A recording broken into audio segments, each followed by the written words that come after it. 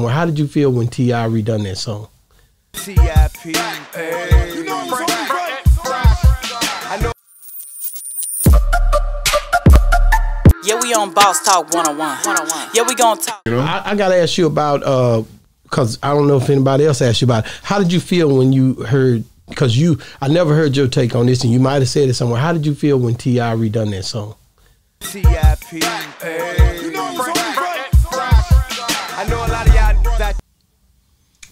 Um, I like Ti. Okay. You know what I'm saying?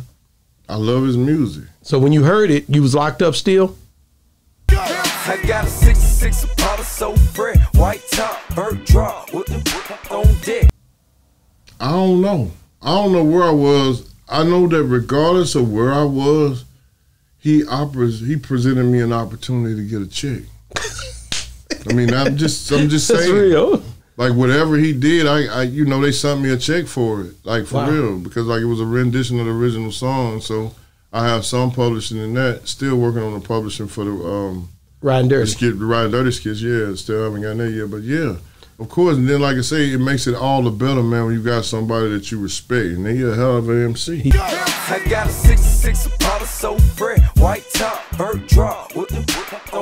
Definitely a hell of an MC. man. So when I, when you when you heard it, did you hear it with Pimp Nim on there already?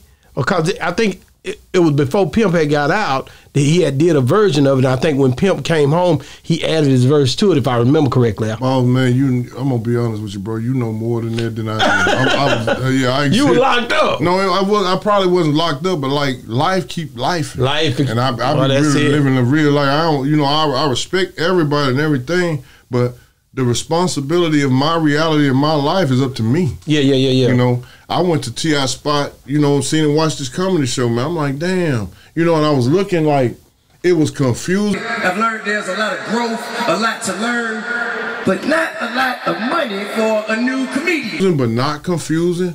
Like, yeah, nigga. I went too. Like the fuck, T.I. is one of the you know, and I I respect his street. Like I know he knows something when he talking. So and then like for me getting out, I'm looking, I'm like, damn, he doing comedy. A new comedian, you know what I'm saying? I never knew, you know, it was, you know, tight like that. You know. And, and I had to stop and think because this man is opening up and unlocking and exploring other sides of himself, something he, he ain't ashamed about. That's real. You know. But then like going in there, I'm sitting in there, we sit across from each other, he opened me with welcome on. I ordered some damn um, chicken wing, hot wing, man.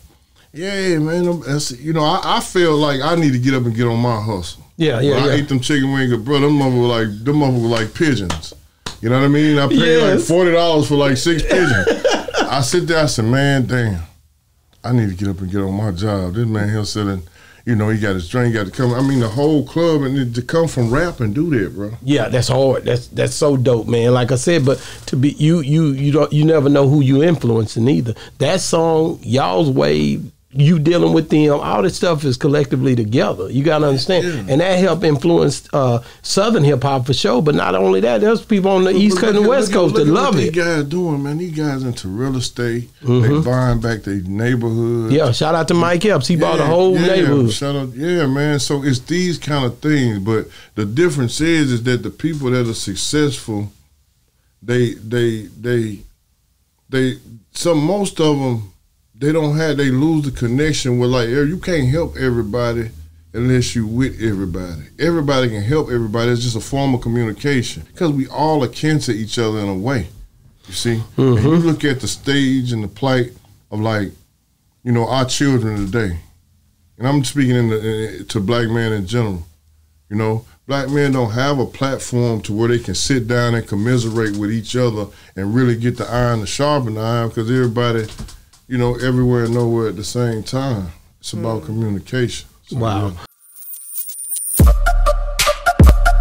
Yeah, we on Boss Talk 101. 101. Yeah, we gonna talk.